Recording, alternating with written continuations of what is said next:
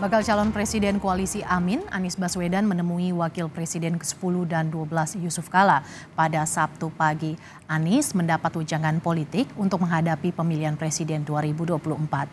Pertemuan selama lebih dari dua jam diawali sarapan bersama di kediaman pribadi Yusuf Kala di kawasan Kebayoran Baru, Jakarta.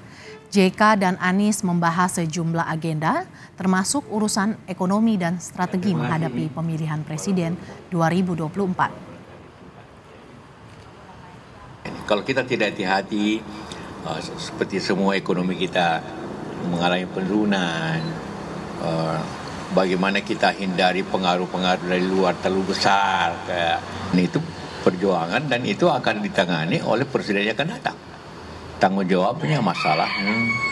Nah, tentu juga strategi-strategi untuk mana pengalaman saya. Saya kan tiga kali ikut pemilu, tidak mudah kan itu. Saya mendukung yang terbaik yang bisa memperbaiki bangsa ini ke depan. Dan Anies tentunya salah satu yang uh, mempunyai track record. Saya, saya punya kriteria begini.